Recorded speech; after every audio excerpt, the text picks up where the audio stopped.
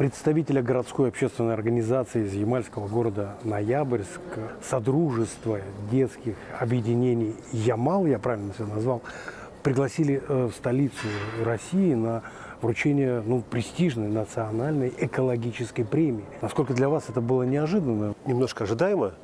Мы считаем, что у нас достаточно интересный проект, но в целом, конечно, было неожиданно общем-то, понятно, что серьезный уровень, федеральный уровень. Участников, я думаю, было достаточно большое количество.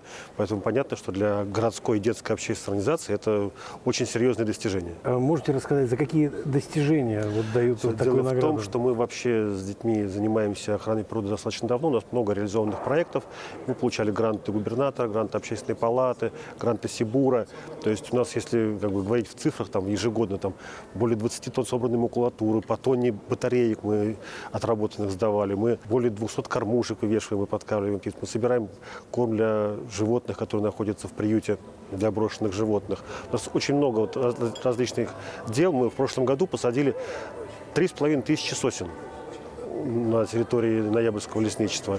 В этом году мы посадили 500 кедров, и 450 кедров мы отдали людям, чтобы они посадили их у себя во дворах, на улицах, и сами за ними ухаживали. Мы придумали такую акцию, поделились кедром, потом переименовали в кедр в добрые руки, в общем-то, отдали. В прошлом году мы раздали около 200, это было буквально в течение 5 минут.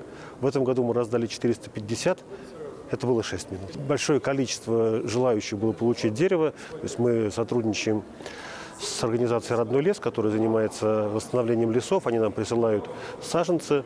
В общем-то, мы их высаживаем в лесах для восстановления лесов, а часть отдаем жителям, ну, чтобы учить и взрослых, и детей озеленять город, ухаживать за деревьями, не ломать их, а именно ухаживать, выращивать вот эти замечательные деревья, кедры на территории города. То есть вот это, скажем так, одно из интересных направлений. А если говорить конкретно про этот проект... Премию вам за какой-то конкретный проект дали? Да. Проект называется «Готов природу охранять». Он придуман по принципу сдачи норм ГТО. Но у нас экологические нормативы. Хочешь получить золотой значок, значит, ты должен сдать 100 килограммов макулатуры, например, 50 батареек, там, посадить 10 деревьев и так далее. То есть в течение полугода-года должен выполнить все эти экологические нормативы, и потом в конце можешь претендовать на золотой, на серебряный, либо на бронзовый значок. То есть, понятно, идея интересная, идея нашла отклик у детей, у родителей, у педагогов. Получилось достаточно интересно, и вот результат, как бы мы здесь на вручении национальной экологической премии. Мне кажется, эта идея, она может быть транслирована вообще по всей стране стране, да? Вот Абсолютно. Мы ее уже транслируем по всей стране, скажем так. У нас это не первый проект. То есть у нас каждый экологический проект, он объединен какой-то одной игровой моделью. То есть, Чтобы ос... детям было интересно. Основная деятельность детей – это игра и учение. Вот они в игре учатся, понимаете? Если ребенок собирает батарейки, ему уже интересно, а зачем? А почему? А почему батарейка спасает ежика? То есть, да, то есть вот такие вещи, они в процессе участия в таких проектах узнают. То есть у нас было множество проектов, везде какая-то своя игровая идея, детям это очень нравится нравится. Ну, конечно, потом нравится быть победителем, получать награды, призы и так далее. Но ребенок, который посадил дерево, он же его ломать не пойдет.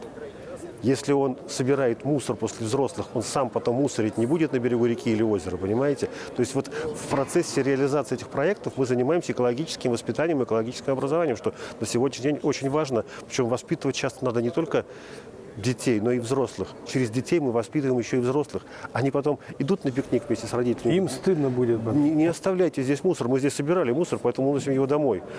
И когда мы выходим сажать деревья, например, да, вот на получение этого, этого кедра приходили же семьями родители вместе с детьми приходили, там, фотографировали с этим деревом, и потом нам прислали фотографии, где они его посадили, как они за ним ухаживают.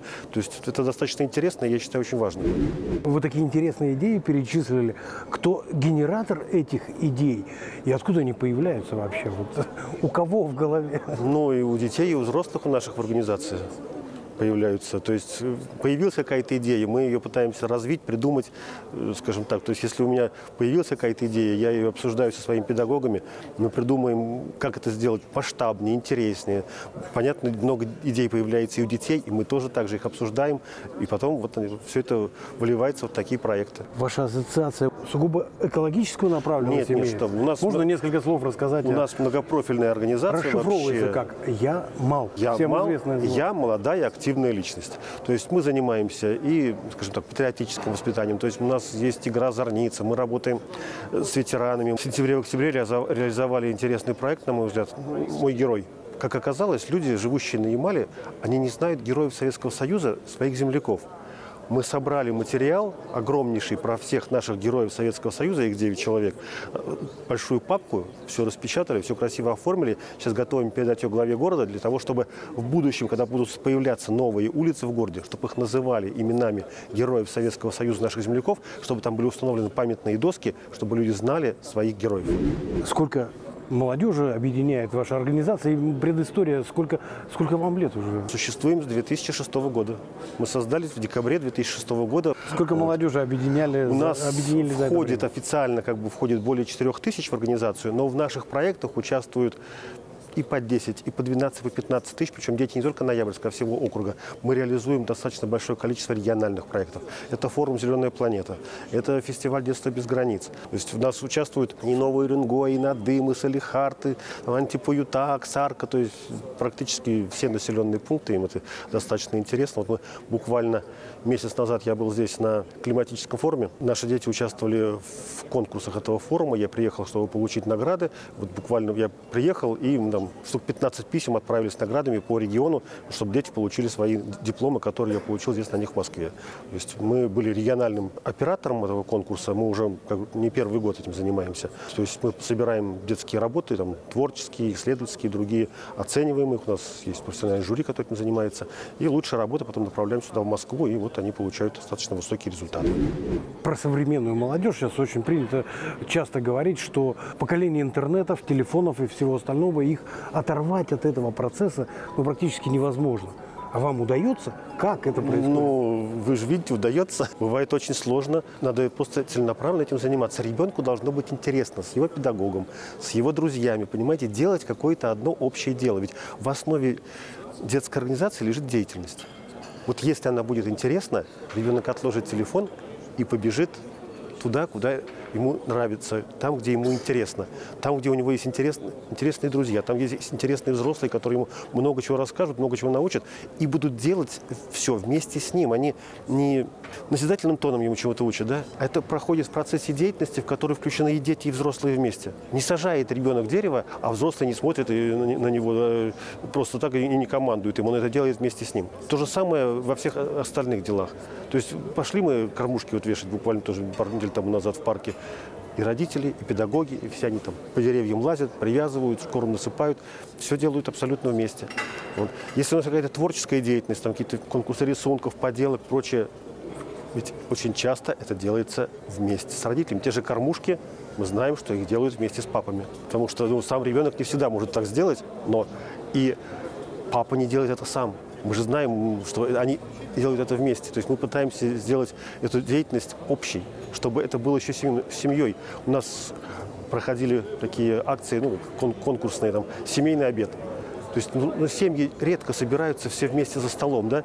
Мы провели вот такой конкурс-акцию. То есть присылали рецепты семейных блюд любимых, да, весь процесс приготовления, как ребенок вместе с мамой и вместе с папой готовил, как они потом сидели за столом, все это обсуждали.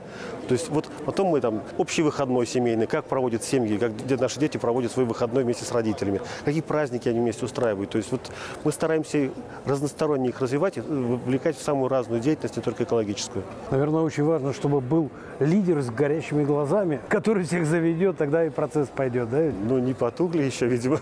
Работаю с детьми уже много лет. Я пришел работать в школу э, в республике Мариэл в свое время пионерским вожатым. Мне было 20 лет, я только отслужил армию. Вот я говорю, я с тех пор и работаю практически пионерским вожатым всю жизнь. Да, я параллельно преподаю в школе еще, да, но это уже дополнительная нагрузка. Основная работа – это работа с детской организацией. Еще один очень важный момент – это все равно материальная база. Вот у вас все есть для того, чтобы вы могли творить, создавать, привлекать молодежь или еще... К сожалению, не все у нас есть уже. Далеко не все. Нам еще в этом плане есть к чему стремиться. И хотелось бы чуть большего внимания вот к детским общественным организациям. Не просто к структуре молодежной политики, у которой есть там своя база, а к детским общественным организациям, которые собрались сами по себе. Им, им это интересно вместе сделать. Да, есть определенная поддержка, конечно, да. Ее не всегда хватает.